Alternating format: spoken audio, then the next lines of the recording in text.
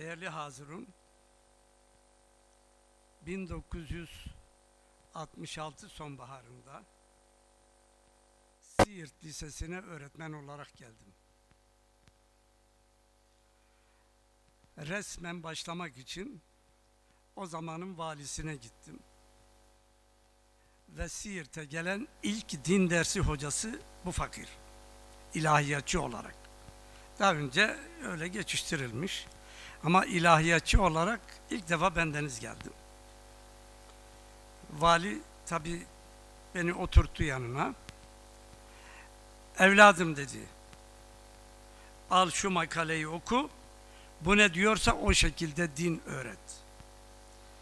Adını vermeyeyim bir gazeteden, bir İstanbul gazetesinde efendim din düşmanı birisinin e, Üstad Bediüzzaman aleyhinde yazdığı bir makalesi. Sen dedi burada nurculuğu yok edeceksin. 1966 bugün 2013 ve ben ve sizler üstattan söz ediyoruz. Sayın Valimiz de hazır bizi dinliyor. Allah'a şükürler olsun. Şimdi efendim önce peşinen şunu söyleyelim. Tarih kötü de olsa, iyi de olsa bizim tarihimizdir. Ancak bu tarihimize hep methu senalarla girersek hiçbir şey anlayamayız. Hep böyle gideriz. Biz hatalarımızı göreceğiz, ona göre hareket edeceğiz. Bundan 5-6 sene önce Viyana'dan Paris'e gittim. Eski e, reisi cumhurları Jacques Chirac televizyonda konuşuyordu. Onu dinledim. Jacques Chirac dedi ki biz Fransız devriminde Fransız milletine çok zarar verdik. Biz dine saldırarak değerlerimizi yok ettik. Şu anda Fransa'da değer, valör diyeceğimiz bir şey kalmadı. Ama iş işten geçti. Biraz size, sonra size anlatacağım ve doğrudan doğruya Fransız devrimini örnek alan bizim İttihat Terakkiciler daha sonra nasıl medreseleri ortadan kaldırarak din düşmanlığıyla bir yere varacağımızı varsaydılarsa işte Fransızlar da öyle. Bir soruyla başlayayım.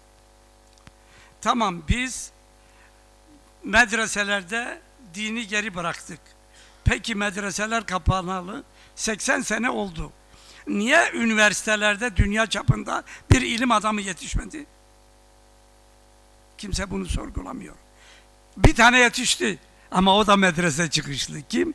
Allah selamet versin. Fuat Sezgin Hoca. Dünya çapında bir hoca. Herkes ona saygı duyar ama o da medrese çıkışlı. O bakımdan biz bir şeyi ortadan kaldırınca neden ortadan kaldırdığımızı bilmemiz lazım. Tarihçi olduğum için biraz da e, küçük bir tarihçe yapayım. Nedir bu medrese? Ne, niye okuyoruz? Veya şimdi e, üniversitede ne okuyoruz? Mes meseleye ben nötr değil Müslüman olarak bakıyorum. Allah Celle Celaluhu Kur'an-ı Kerim'de buyuruyor. Bismillahirrahmanirrahim. Ve alleme Adem'el esma'ye kullaha. Allah Celle Celaluhu Adem Aleyhisselam'ı yaratınca her şeyi ona öğretti. Bu şu demektir. Gen olarak hepimize potansiyel olarak verdi Allah. Ama bizler eğer çalışırsak onları ortaya koyarız.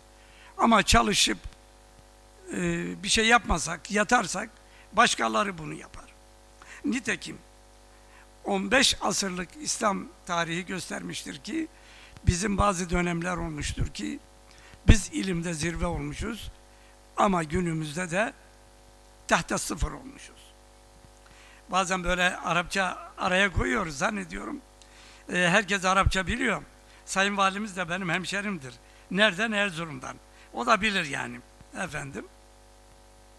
Şimdi Allahu Teala gönderdiği 124 bin peygamberle bu esmayı öğretti insanlara.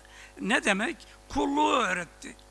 Ey insanlar ben sizi belli bir müddet için yarattım. Şöyle şöyle yaşayacaksınız, ölüp bana geleceksiniz. En son gelen peygamber Muhammed bin Abdullah aleyhissalatü vesselam Efendimiz. Daha önce bir vesileyle de söyledim. Resulullah aleyhissalatü vesselamın ilk medresesi biraz önce Erkam'ın evi dendi doğru. Ama ben biraz daha ileriye gidiyorum. İlk medrese Hira mağarasıdır. Muhammed Abdülhamid diye Mekkeli bir şair şöyle diyor. Resulullah'ın hayatını yazmış. Medresetun nebiyyi ve şeyhuha Cibrilu. Yani Hira peygamberin üniversitesi profesörü de Cibrail'di. Cebrail'di. Oradan o gelenekle geldi. Efendim daha sonra ben tabi bilhassa günümüzü anlatacağım için kısa geçiyorum. E, Hulefai Raşid'in Emevi Abbasiler döneminde ve özellikle özellikle Endülüs'te öyle bir medeniyet kuruldu ki o zamanki tarihçiler, batılı tarihçiler diyorlar ki dünyanın ilim ve fendeki en büyük devleti Endülüs'teki İslam devletiydi. Ben tabi burada methul sena yapmıyorum ama tespit ediyorum. Tarihin seyri içerisinde İslam dağılınca her tarafta bu medreseler açıldı. Ta Çin'e kadar. Çin'de Kuantsu veya Sian diye büyük bir medrese var. Bendeniz birkaç sene önce gittim. Hala efendim duruyor, hocalarıyla devam ediyor. Medine'de, Şam'da, Bağdat'ta demin zaten geçti. Ben onların e, ayrıntılarına girmiyorum. Ve tabi Selçuklular, Osmanlılar ve tabi günümüz. Arkadaşlar biliyorsunuz her şeye rağmen yani o Cumhuriyet dönemindeki o bütün baskılara rağmen bizim doğuda medreseler hayatiyetini devam ettirdi. Bazen dayak yediler, bazen saklandılar. Onun için Dicle mağaraları diye bir yazımda bunu dile getirmiştim. Bir gün bir yazı yazmıştım. Allah selamet versin. Bir hoca efendi, şimdi adını söylemeyeyim. Dedi ki yazını okudum. Biraz hocalara vuruyorsun. Ama senin boynuna sarık sarılıp sokaklarda çekildin mi sen dedi. Böyle günler yaşadı. Arkadaşlar bu neden? Bu Müslümanlar ne zarar veriyor? Bakın burada müftüsüyle, valisiyle, rektörüyle hepimiz oturmuşuz, konuşuyoruz. Devlet yıkıldı mı ya? Yok. O zaman başka bir şeyi aramak lazım. İttihat terakkiyle başlayan bir İslam düşmanlığı var. Başka bir şey değil. Türkiye'nin geri kalmışlığı falan hiç umurlarında değil. E, pozitivizmin ortaya çıkardığı bir dinsizlik. Şimdi şöyle bir soru. Neden batıda üniversiteler gelişti? O dünya çapında gelişmiş olan Müslüman medreseleri geriledi. 16. yüzyıldan itibaren özellikle Müslümanlar biraz müspet ilme müspet ilim kelimesi de hoşuma gitmiyor. Sanki diğerleri negatifmiş gibi. Yani bu fen ilimlerine sırt çevirdiler. Fakat bizim memlekette bir örneği vardır. İbrahim Hakkı Allah rahmet eylesin bize gösterdi ki 18. yüzyılda bile istenirse ta Erzurum'dan gelinip Tillo gibi bir köyde keşifler yapılabilir. Ama nasıl bir afyon içirildiyse Müslümanlara, Müslümanlar terk ettiler ilmi. Terk ettiler, onun için bugünkü hale geldiler.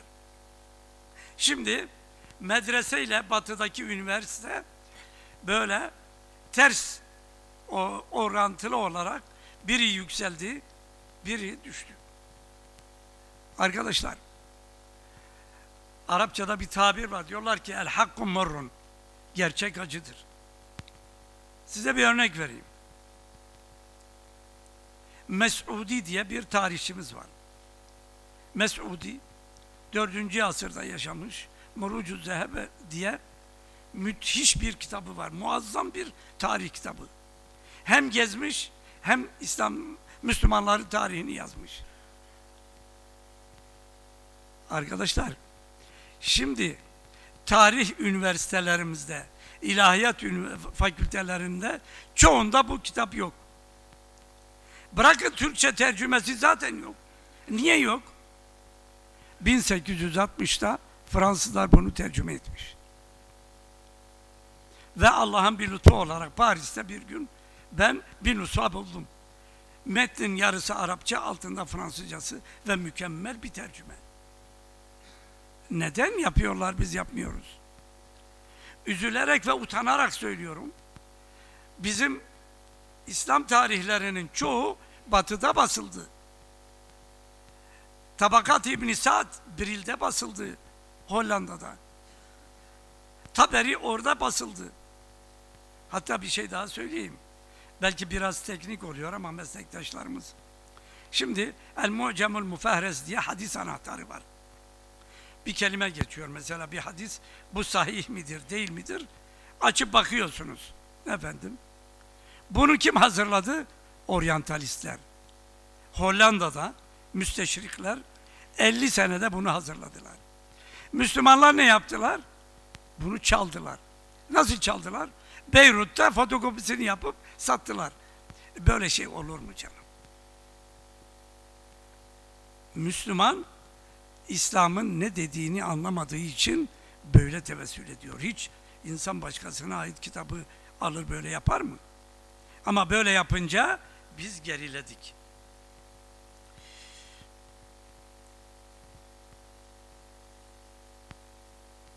Tabi batılılaşma dediğimiz hareket Müslümanlara bir kompleks getirdi.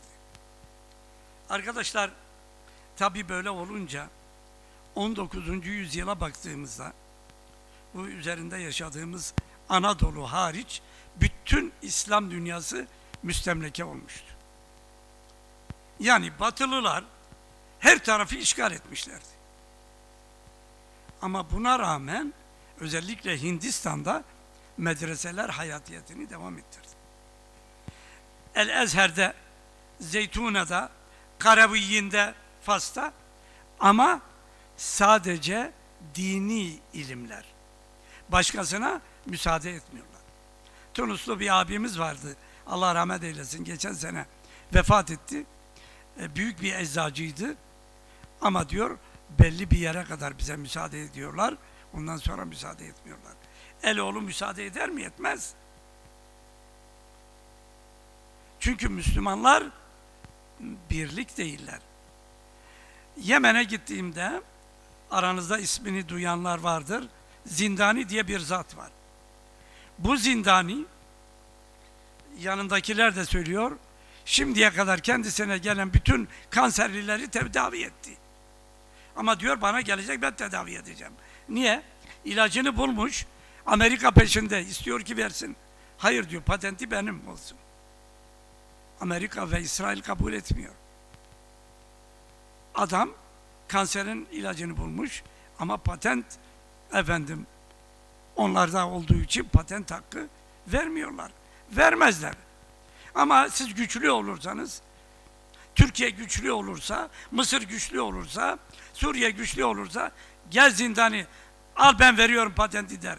Ama öyle diyecek halimiz yok ki. Silahımızı da el olundan alıyoruz. Peki bütün bunların niye anlatıyorum? Medreseler yok olunca şuur gitti. Şuur gitti. Bunları düşünecek insan kalmadı. Efendim 19. yüzyılda tabi biz bocalamaya başlayınca ne yaptık? Tıpkı bugünkü gibi hani Avrupa Birliği'ne gireceğiz ya diyoruz gireceğiz. 19. yüzyılda aynı şey. E, reform yapacağız. Reform Fransız elçisi Paris'ten Paris'e yazıyor. İstanbul'dan diyor ki bizim bu Müslümanlardan istediğimiz reform falan değil. Ayasofya üzerinde parlamakta olan hilali indirip yerine salibi koymaktır. E bugün de böyle. Ama biz maalesef e, düşünmeden onların kanunlarını alıyoruz. Bir şey söyleyeceğim. E, şimdi bayramın üçüncü günü vaka olduğu için söylüyorum yoksa önemli değil. Bizim eve hırsız girdi. İstanbul'da. E işte benim iPad'i götürdüler falan. Eski ulema kafada taşıyordu. Biz şimdi iPad'lerde taşıyoruz. Neyse önemliydi. Gittik. iki üç defa polis çağırdı. Gittik ifade. Ne olacak? Polis dedi ki yakalasak da iki ay içeri gireceğiz sonra salacaklar. Benim kanunuma göre dedim. Ben o hırsızı yakalarım ve bu memlekette hırsızlık olmaz. 500 senelik Osmanlı tarihinde üç defa hırsızın eli kesilmiş. Başka yok, hırsızlık yok. Ama siz Allah'ın kanunlarını istemiyorsunuz. Bir hırsız elinin kesileceğini bilse hiç gider bir evi soyar mı? Ama biz diyoruz batıda, şimdi bilmiyorum aranızda bilenler vardır. Mesela evinize hırsız girse İngiltere'de siz de onu görseniz bir şey yapamazsınız. Telefon edeceksiniz. Bir hırsız teşrif etti, gelir misiniz? Türkiye aynı şeyi yaptı ya. Bu ne, bu ne düşüncesizlik ya. Amerika o bakımdan şeriata daha yakın. Diyor ki bahçene dahi giren birisi olursa müsaadesiz vur. Hiçbir şey yok. Ama bizim hiçbir değerimiz kalmadı durmadan ha Paris diyoruz ha Londra diyoruz. Ya bu kütüphanelerimiz ilim dolu. Ama okuyan yok. Benim meslektaşlarım var. İstersen eğer kızsınlar bana. Benim oryantalist yani e, gayrimüslim ilim adamları var. Vallahi onların kütüphaneleri bunlardan zengin. Onların bilgileri bunlardan fazla. E niye? E diyorum ki oğlum al şu konuyu git Süleymaniye'de. Ya hocam işte ya bundan ilim adamı olmaz. Medreseler bunun için çöktü gitti. Efendim. E, Birinci Dünya Savaşı'nda e, İstanbul işgal edildi ve biraz önce de söylendi Cumhuriyet diye bir rejim getirdik. Biliyorsunuz Bediüzzaman da Tillo'daki o e, yukarıdaki yerde karıncalarla sohbet ederken bunlar da benim gibi cumhuriyetçi diyordu. Efendim. Cumhuriyeti getirdik ama kusura bakmayın yani biz de biraz okuduk. Hem de o cumhuriyetle ilgi ve tanışan Fransa'da okudum ben. Bu bizim cumhuriyetin cumhuriyetle hiçbir alakası yok. Demokrasi diyorlar ya, demokrasi. Onun da hiçbir yanı. Ondan sonra tevhidi tedrisat diye bir şey oldu. Harf devrimi oldu. Kahti ilim ve kahti rical başladı. İlim adamı kalmadı mı? Bir, hiçbir millet kendi kültürüne böyle bir da darbe vuramaz. Böyle bir darbe. Ben Çin'e gittim. Dünyanın en zor e, alfabesi onların. Her kelime için bir harf var ya böylece şey olur mu? Ama terk etmiyorlar. Kültürleri onun içindedir. Kaldırırlarsa Çin tarihi biter. Japon kaldırırsa Japon tarihi biter. Allah rahmet eylesin benim hocam vardı Hilmi Ziya Ülken. O çağdaş düşünce tarihinde yazıyor diyor ki efendim 60 e, de e, ihtilalinden sonra yazmıştı. Bu İranlılara tavsiyem bizler değiştirdiğimiz gibi harfleri değiştirsinler. Ya böyle saçmalık olur mu? Ben bunu bir kitabımda tenkit ettim diye bir başka hocam dedi ki hocanı niye eleştiriyorsun? E hocam yanlış söylüyor. Bizim tarihimiz bu harflerle yazıldı.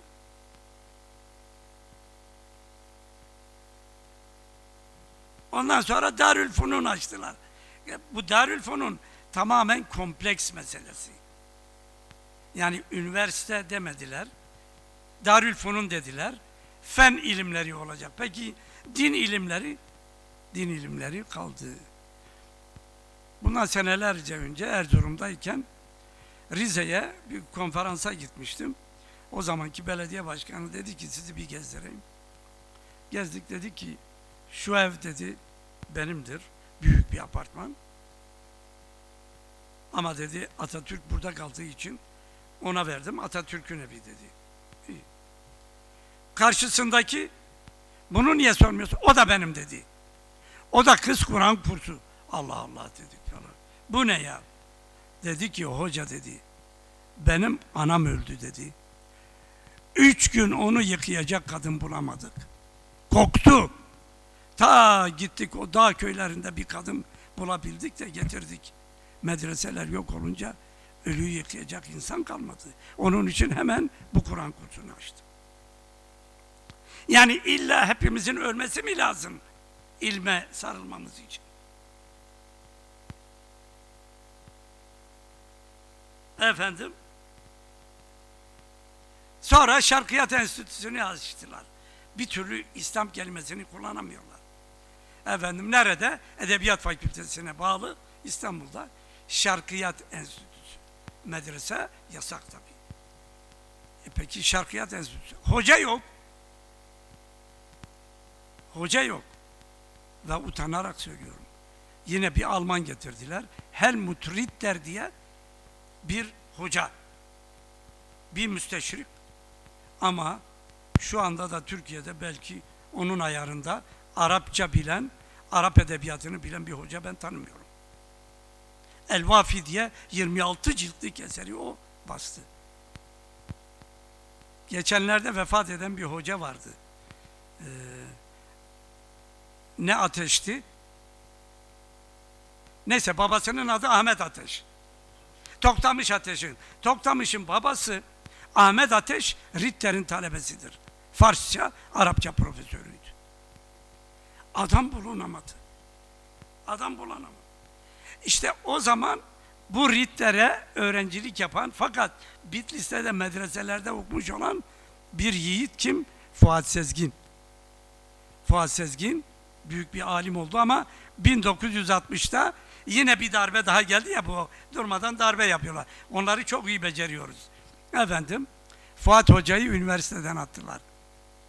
Allah'tan ki Almanya'ya gitti. Almanya dedi ki al sana beş tane sekreter istediğin gibi yap. Dünya çapında hoca oldu. Dünya çapında. Şu masa uzunluğunda eserleri var. Frankfurt'a giderseniz onun yaptığı enstitüyü görün. İşte bu bir medreseli. 1949-50'de yine hala medrese diyemiyorlar. Bir ilahiyat açtılar lütfen. Ankara Üniversitesi'nde ilahiyat. E, bu fakir de oranın mezunudur. Efendim. İlahiyat açtılar ama hoca yok. E ne olacak? Yine üç tane yabancı hoca buldular. Birisi Allah rahmet eylesin Muhammed Tayyip Ukiç benim hocamdı. Birisi Muhammed Hamidullah. Allah rahmet eylesin. O da Hindistan'dan. Diğeri Bosna'dan. Bir de Muhammed Tancı vardı Fas'tan. Tanca şehrinden. Bu üç hoca vardı. Türkiye'de hoca yok ya. Ve ilahiyat fakültesi kuruldu. Ne yapacak? Din adamı yetiştirecek, hoca yetiştirecek. Efendim, öyle bir bir fakülteydi ki öyle mükemmel. Ben okuduğumda Kur'an dersi yoktu. Düşünebiliyor musunuz? Kur'an dersi yoktu. Ve tabi hiç ummadığımız yerlerden Allahu Teala bazen bazen hikmetler yaratıyor. Ee, Bismillahirrahmanirrahim. Kulle yevmin huve fi. Bir bakıyoruz yine bir müderris çıkmış Doğu Anadolu'dan Nurs diye bir köyden işte çıkmış Hizan'a gitmiş Van'a gitmiş sonra Pervari üzerinden Tilo'ya gelmiş Tillo'da yetmemiş ilim İstanbul'a bakıyorsunuz ki ha, dünya çapında bir adam olabiliyor. Ama ne oldu? Hayatını zindanda geçirdi. Neden? Bu adamın bu memlekete zararı ne oldu ki hayatı zindanda geçti? Ama ne yapalım ki tarih böyledir. Hanefi fıkhının en büyük e, üstadlarından İmam Seraksi var. O da o büyük e, El Mebsut adındaki kitabını zindanda yazdırmış talebelerine. Bu bizim kaderimiz mi bilmiyorum. Ama elhamdülillah işte o Bediüzzaman çıktığı dönemlerde e, Süleyman Tunahan çıktı, Kur'an'a sarıldı. Kur'an kursları açtı. Zahid Kotku çıktı. Efendim Ali Sa- e, Sami Efendi çıktı. Ondan sonra tabii e, hepsi de yasaklı. Hepsi de tarassut altında. Din ka- e, karşıtlığı o denli zalimane idi ki efendim ben bile nasibimi aldım. 1966'da dedim ya ben buraya hoca oldum. İmtihanı kazanıp Fransa'ya gittik. Halbuki ben o dönemde e, Suud'da bir burs kazandım. Yobaz olur diye göndermediler beni.